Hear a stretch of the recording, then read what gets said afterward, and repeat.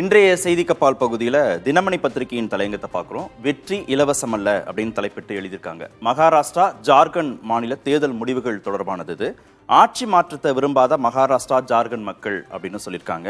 மகா விகாஸ் கூட்டணியை விட பாஜக அதிக இடங்களை பெற்றிருக்கிறார்கள் அப்படிங்கிறதையும் சுட்டி காட்டியிருக்காங்க ஆறு மாதங்களாக முழு வீச்சில் பாஜக கூட்டணி களமிறங்கி தேர்தல் வேலை பார்த்தாங்க அப்படிங்கிறதையும் சொல்லியிருக்காங்க. பிரதமரை மட்டும் நம்பாத பாஜக கூட்டணி மற்ற மாநில தலைவர்கள் கட்சி தலைவர்கள் இவங்க எல்லாரையும் களத்தில் இறக்கி தேர்தல் பிரச்சாரத்தில் ஈடுபடுத்தினார்கள்னு சொல்கிறாங்க தேவேந்திர ஃபட்னாவிஸ் ஏக்நாத் ஷிண்டே அஜித் பவார் இடையே எந்த விதமான முரண்பாடுகளும் இல்லாமல் தேர்தல் வேலை பார்த்தாங்க.